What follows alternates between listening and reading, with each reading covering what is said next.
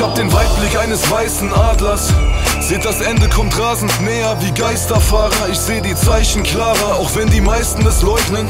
Man muss nur in der Lage sein, die Zeichen zu deuten. Wie wenn Symbologen zum Psychologen gehen oder sich, nachdem sie die Bücher Moses lesen, Überdosen geben. Ich lese in verbotenen Texten von der Rückkehr der Maya-Götter und sehe in mongolischen Steppen gigantische Kraterlöcher. In Bergen des argentinischen Nordens verschwinden Menschen in verborgenen Innengängen und Pforten von Inka-Tempeln. Mordende Ninja-Kämpfer ziehen meuchelnd umher im Auftrag zorniger Hintermänner eines Ordens von Ming-Anhängern. Schon schlucken Physiker in Klapsen Cyan-Kali-Kapseln. Die Regierung tut es ab als surrealen Schwachsinn. Im Südirak verschwanden Nuklearwissenschaftler.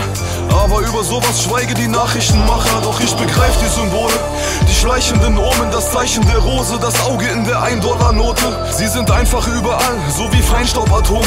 Überall erkenne ich die Handschrift der Freimaurerloge. Ich sage heime Labore unter U-Bahn-Schächten. Sie infiltrieren schleichend Regierungskreise von Supermächten, besetzen weitläufig die Führungsriegen noch übersehen Leichtgläubige Bürger, diese einäugige Pyramide Doch ich hoffe, dass es meine Spezies versteht. Nur frage ich mich täglich, wie Spezies versteht. Schon gibt's in den Schweizer Bergen Alien-Camps CNNs Paranoia, aber euer Präsident weiß um deren Existenz. Ich könnt's euch zeigen auf der Handycam Alles hier ist real, doch ich mach's Handy nicht an Wege des Satellitensignals. Schon lange ist mein iPhone am Knacken und ich hab keinen Bock auf Waterboarding und Reizstromattacken. Mit grausamen Tasern muss mich aus dem Staub machen stets Bevor sie mir auf die Spur kommen. Wie Aufnahmetakes Wie Aufnahmetakes, wie Aufnahmetakes, wie Aufnahmetakes